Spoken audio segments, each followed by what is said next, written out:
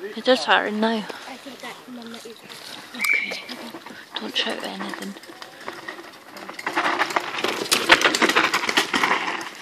Oh shit. I know. Okay, can you go and see if he's alright? Okay. Right up.